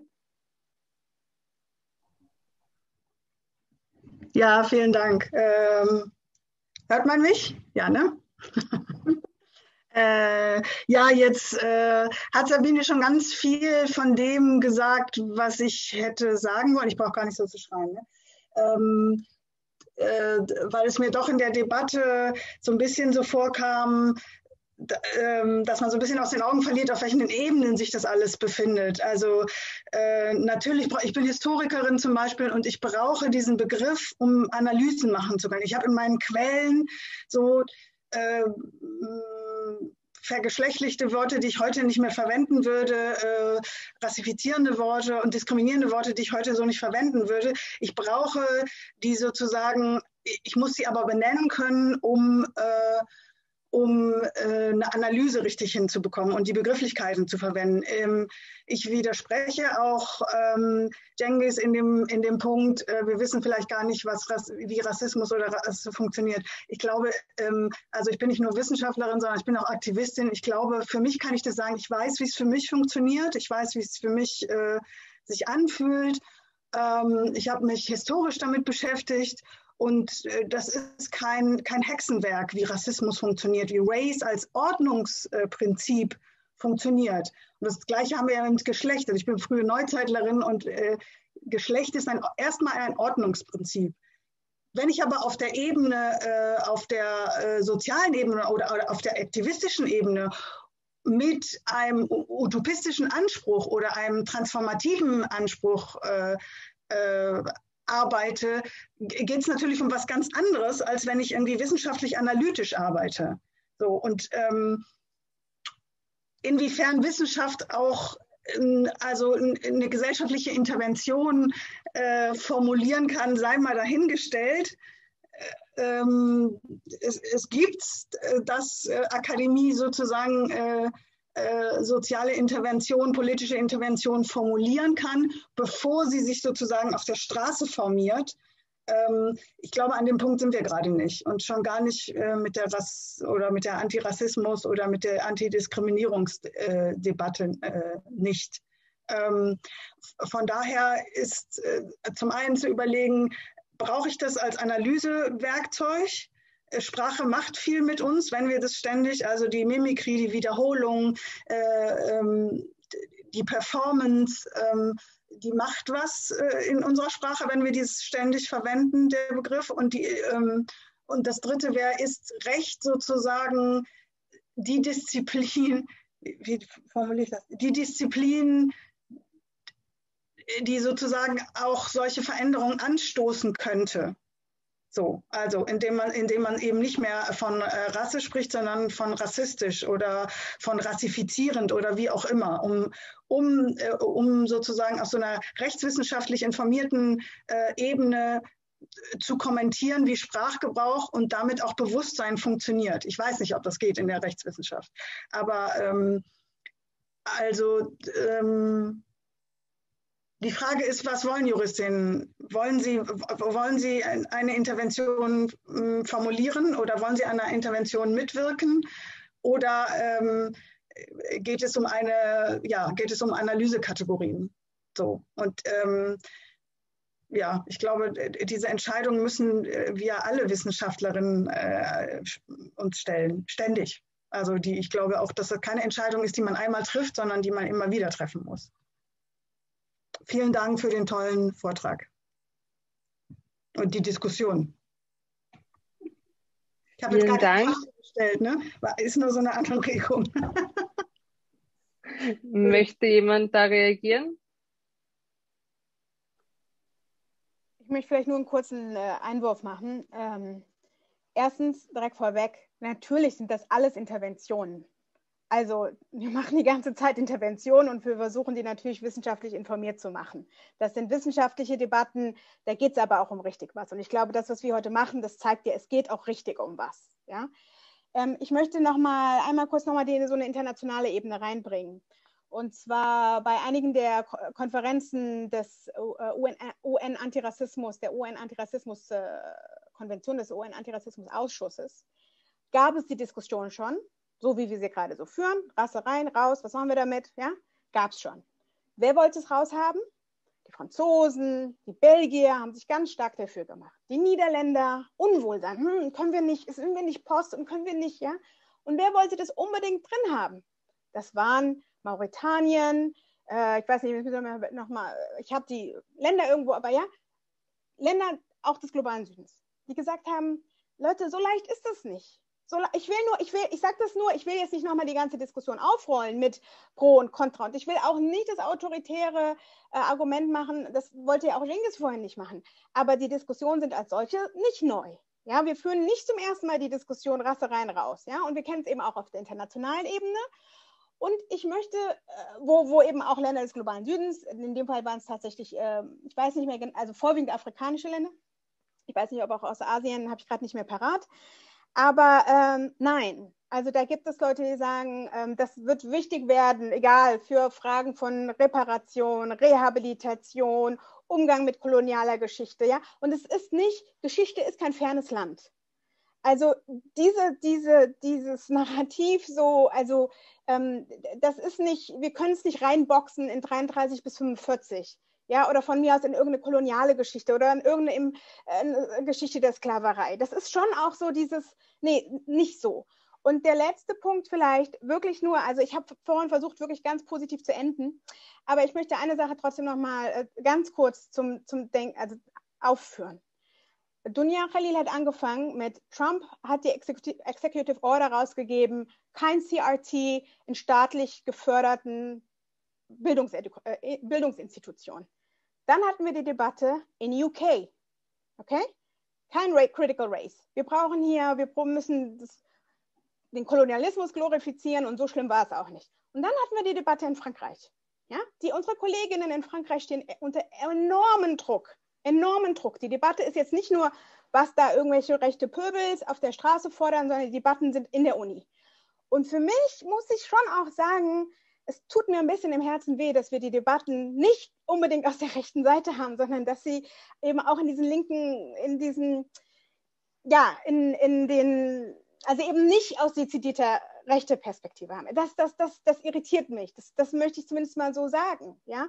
Und da müssen wir drüber nachdenken, ja, weil natürlich, das hat was, äh, ich weiß, Sabine arbeitet zu Solidaritäten und zu ähm, Allianzen und zu Com ähm, Community statt Kon Konkurrenz und so weiter, ja. Irgendwie müssen wir da einen Weg finden, weil es ist in Ordnung, dass wir uns ausdifferenzieren, ja. Ähm, aber die Intervention, wenn wir die gemeinsam machen können, das wäre schon wichtig, weil alles, was wir hier machen, das ist kritische Rechtsforschung, ja. Da stehen wir auf weiter Flur alleine wenn ich Leute beraten soll, bei wem sie denn was schreiben, eine Promotion, ein Postdoc, ja, da muss ich manchmal schon auch überlegen. Ja, also da sind nicht so viele in, in, der, in der Wissenschaftslandschaft hier. Ja, deswegen vielleicht nur noch mal, vielleicht auch noch mal so ein Unbehagen, also ein Unbehagen mit einem Appell. Das müssen wir noch hinkriegen. Ja, also so viel vielleicht dazu.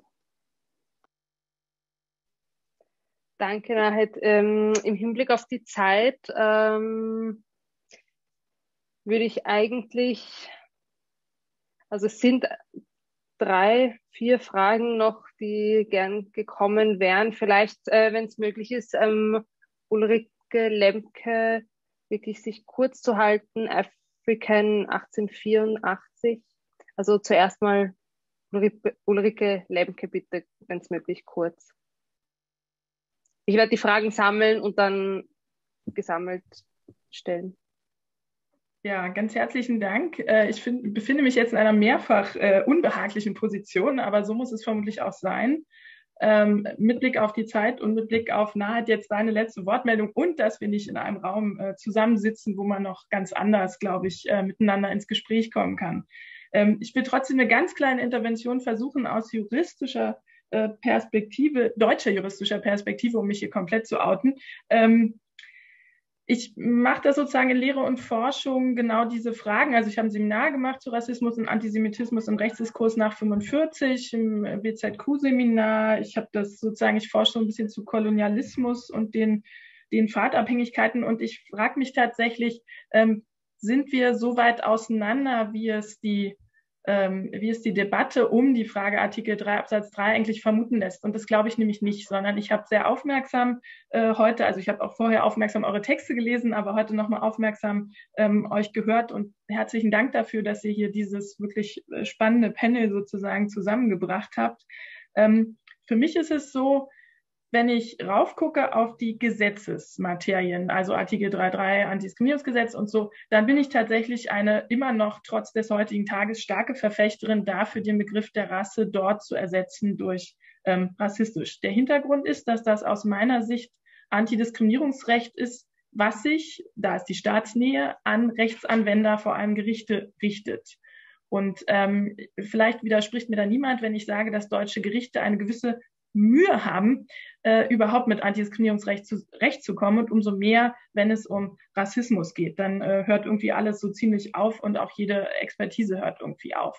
Die Frage aber, wo eigentlich Critical Race Theory hingehört und wo auch der Begriff der Rasse als Wissenskategorie hingehört, das wäre sozusagen sofort auf der nächsten Stufe. Denn in dem Moment, wenn ich ins, also sozusagen dahin kommen möchte zu erklären, was ist denn bitte rassistische Diskriminierung, was ja jetzt irgendwie alle wissen, aber niemand so richtig, vor allem deutsche Gerichte immer noch nicht, dann spielt natürlich die Frage inter, eines interdisziplinären Zugangs und von Rasse als Wissenskategorie eine ganz große Rolle. Also Antidiskriminierungsrecht geht überhaupt nur interdisziplinär informiert und durchdrungen und das so zu machen.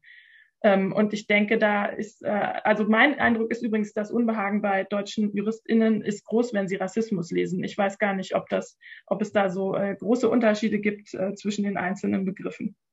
Und ich wollte mal kurz sagen, natürlich ist der Wunsch auch insgesamt die, ich nenne es mal Dynamik von Diskriminierung in Gesetzestexten besser abzubilden, der ist da nur sexistisch und da ist das wieder mit den Fahrtabhängigkeiten, ist in Deutschland einfach ein Begriff ohne Wucht.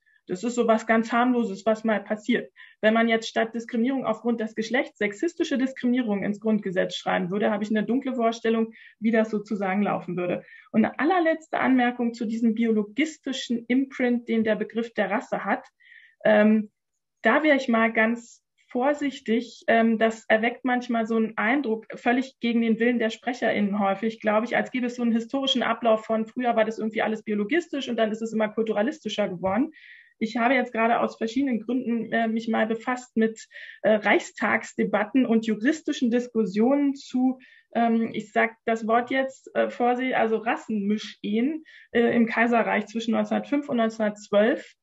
Und das sind extrem dynamische, flexible Konzepte. Das meine ich jetzt überhaupt nicht positiv, sondern das sind so extrem dynamische, flexible Konzepte, was denn Rasse in Wirklichkeit ist und wer denn die niederen Rassen sind und die höheren. Das ist überhaupt nicht biologistisch. Das ist nur biologistisch, wenn es gerade passt. Und ansonsten unglaublich beweglich Kultur, Religion, Sitte, Bildung, tausend Dinge spielen eine Rolle. Ähm, und ich glaube, da auch nochmal in die, in die Geschichte zu gucken, auch, auch tatsächlich in die Geschichte eines, eines deutschen Rechtsdiskurses allein schon ist unglaublich äh, informativ und da ein bisschen aufzupassen.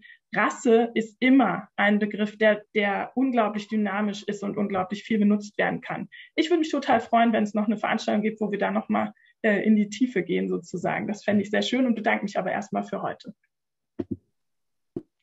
Vielen Dank für die Wortmeldung. Als nächstes bitte African 1884. Hallo? Ja, wir hören Sie. Gut. Um, ich wollte nur zuerst uh, an alle bedanken. Um, ich werde meine Frage auf Englisch stellen. Um, but first of all, I'll just uh, provide a little bit of context. So I'm a black person living in Austria, and uh, I'm just going to provide a perspective that I think is also relevant also in Germany, because I know this topic is specific to German and the use of the word race within the German context and racism. Now, um, I think one of the things that we need to understand is that there's there's the definition of racism is not clear, and that's one of the problems. Same thing is happening in Austria, where racism means everything and nothing. So there's no clear definition of racism. So if you don't have a clear definition of what racism is, then how can you solve the problem? This applies to also using racism in a plural form, meaning everything can be racism. I attended a university class. I graduated from University of Vienna. I attended a class on racism, and I was the only black student there in a class of about 30 people who do not understand what racism is. Because the first thing that I did when I walked into that class, I asked, what is racism? What are we talking about? Because I wanted to know the definition of first of what we're talking about. Because people were giving examples that are not racism. They say they went to Ghana, white people went to Ghana, and they're being told to, to pay much more for a taxi, and they felt that they're being mistreated based on their race, you know? So what I'm saying is that we can't make progress if there's no clear definition of racism. And unfortunately, the discourse of racism right now and also critical whiteness has been taken over by people who don't want to acknowledge racism, white supremacy. Because if you talk about racism, you have to talk about white supremacy, which is a domination of white people over black people, regardless of race, regardless of gender, regardless of uh, political uh, affiliation, and what have you. So my question, and uh, that I'd like to share out with everyone, is um, what is the legal definition of race or racism in Germany? Because I know there's no legal definition of justice. You know, so is there a legal definition of racism in Germany? And what is the definition of racism within critical whiteness? Thank you. Thank you very much. Ähm, als nächstes und letztes ähm, hätten wir noch Ines Rössel. Hört man mich? Ja. Ja, äh, ja erst einmal vielen Dank für die, für die wirklich ähm, sehr feine Diskussion. Ähm, ich, es wurde schon angesprochen, dass, dass die Frage der Adressierbarkeit, gerade wenn wir über das Recht sprechen, eine wesentliche ist. Und ähm, und daran schließt jetzt auch meine Frage an, nämlich wenn ich, wenn es darum geht, gerade auch strukturelle Hierarchisierungen adressierbar machen zu können. Äh, und ich mache es vielleicht an einem Beispiel fest. Ähm, 24 Stunden Pflegerinnen ähm, aus Osteuropa, die sich jetzt, ähm, also würden die sich selbst, also in der Selbstzuschreibung sich selbst den Begriff Rasse zuschreiben, ähm, würden sie von außen in der Fremdzuschreibung den Begriff Rasse bekommen und wie kann ich aber dann im Recht jener Hierarchisierungen, die, denen sie ausgesetzt sind, dennoch adressierbar machen? Brau also funktioniert denn, also schafft das dann ein Rassebegriff im Recht oder brauche ich da nicht doch etwas, was ähm, wie Rassifizierung oder dergleichen? Also es ist irgendwie für mich, das würde mich wirklich interessieren, wie Sie oder ihr das seht, ähm, was die Adressierbarkeit solcher Konstellationen anbelangt? Oder mit was braucht es dafür? Braucht es dafür noch was anderes, noch einen anderen Begriff? Vielen Dank. Dann würde ich jetzt an euch übergeben. Dazu reagieren, wenn möglich, auch kurz. Ähm, ja, es sind wirklich viele Fragen gestellt worden und wir müssen, glaube ich, auch bald abschließen. Das ist mir auch bewusst und ich ähm, ähm, ja, bin, äh, ich habe jetzt äh, das Luxusproblem, äh, um nicht zu wissen, auf welche Frage ich antworten möchte. Ähm, ich glaube, mir ist wichtig, am Ende nochmal eine Sache hervorzuheben, nämlich ähm, was wir unter Rasse verstehen. Und nicht nur ähm, äh, rechtswissenschaftlich, sondern auch äh, sozialwissenschaftlich oder beziehungsweise gesellschaftlich. Denn ich gehe nicht mit dem Argument mit, dass im deutschen Kontext rassistisch biologistischer konnotiert ist als im US-amerikanischen Kontext. Stuart Hall hat uns darauf hingewiesen, dass es gerade ja diese biologistische Hartnäckigkeit, die nicht loswerden. Und auch im US-amerikanischen Kontext ist Rasse noch biologistisch geprägt, nicht nur. Und natürlich hat Ulrike Lenz gerecht, wenn sie sagt, dass, dass Rasse ein, ein sozial dynamisches Konzept ist, was schon immer mit Kultur einherging und Religion einherging. Und genau das ist ja gemeint, wenn wir sagen, Rasse ist eine sozial konstruiert historische äh, Kategorie. Und ähm, mir scheint es so zu sein, dass wir viel mehr empirische Forschung brauchen. Wirklich empirische Forschung, was die, ähm, ja, was wir in der Wissenschaft unter Rasse verstehen, weil äh, wie die Juristinnen, wie die Rechtsanwenderinnen Rasse verstehen und auch wirklich, was auf der Straße im Alltagsleben wie Rasse verstanden wird. Und an dieser Stelle möchte ich noch einen Punkt, einen sehr feinen Punkt, aber sehr wichtigen Punkt äh, hervorheben. In Deutschland leben nicht nur Deutsche mit deutscher Muttersprache. Es leben Millionen Menschen mit anderer Muttersprache, die auch Rasse in ihrer eigenen Muttersprache kennen. Und in, in diesen Muttersprachen gibt es oft, ist es oft so, oft so, dass Rasse eine andere Konnotation hat. Ich kenne mich etwa aus mit dem Türkischen und Kurdischen und ähm, mit dem Niederländischen und mit dem Französischen ein wenig aus. Und ich kann da jetzt schon anekdotisch mitteilen, dass da Rasse wirklich unterschiedlich verstanden wird. Also auch im deutschen Kontext gibt es mehrere racialisierte Personen, die sehr wahrscheinlich ein unterschiedliches Verständnis von Rasse haben. Und meiner Meinung nach soll nicht die weiße Mehrheitsgesellschaft die alleinige Deutungshoheit darüber haben, wie Rasse zu verstehen ist. Das ist mir wichtig an dieser Stelle zu betonen. Vielen Dank, Cengiz. Sabine Nahed möchte dir auch noch was sagen. Ja, ich glaube, ähm, ich würde jetzt gar nicht nochmal weiter antworten wollen. Ich glaube, es sind so viele Vorschläge jetzt auch nochmal ähm, mit dem, was Ulrike Lemke nochmal gesagt hat und auch die Frage, was ist denn eigentlich die äh, Definition von Rasse im, im Recht? Das sind alles Fragen für weitere, für weitere Runden, ähm, die wir vielleicht auch sinnvollerweise in den nächsten Runden äh, aufgreifen und vertiefen ähm, und würde es dabei meinerseits belassen wollen.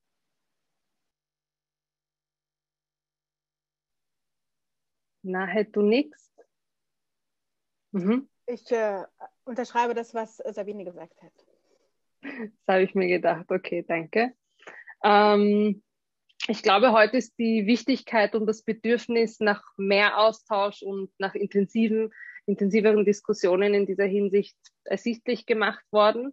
Ich hoffe sehr, dass Ihr Interesse an dieser Thematik äh, als Zuseherinnen durch die heutige Veranstaltung gewachsen ist und dass Sie vor allem in Zukunft sich äh, vermehrt äh, mit Critical Race Theory und allem, was wir heute besprochen haben, befassen möchten auch und dass unsere Expertinnen Diskutantinnen Ihnen Tools oder zumindest Denkanstöße für Ihre zukünftige Arbeit und Ihr zukünftiges äh, Tun mitgeben konnten, weil gerade bei Themen wie Antirassismusarbeit, das hört einfach nicht auf, sondern man muss sich ständig weiterentwickeln. Es gibt immer was zu lernen, es gibt immer ähm, etwas, was in Zukunft äh, hinzukommt. Das ist ein Diskurs, der sich auch ständig verändert. Ähm, Genau, und ich hoffe, dass Sie sich dafür die Zukunft was mitnehmen äh, und würde dann an Petra äh, Susner übergeben und mich für Ihre Aufmerksamkeit bedanken und Ihr Interesse. Und ich hoffe sehr, dass es äh, in Zukunft viele Veranstaltungen äh, geben wird, äh, die sich mit diesen Themen befassen. Danke. Ja, ich habe im Prinzip noch drei Sachen zu sagen. Das erste ist, da waren eine Menge Aufträge. Ne? Ich habe sie gehört. Und in diesem Sinn auch vielen, vielen herzlichen Dank an das spannende Panel, an das Publikum und für die spannende Diskussion. Zweites ist, kollektiv diskutieren geht jetzt mal in Sommerpause. Will heißen, wir sind bis September in einer Ruhepause und kommen im September wieder zurück. Wir freuen uns schon sehr. Das dritte ist, das ist aber nicht das letzte, was diesen Sommer von Seiten der Forschungsgruppe Recht, Geschlecht, Kollektivität kommt. Und da würde ich jetzt ein letztes Mal das Wort an Sabine Haag übergeben, mit der Bitte um eine Ankündigung.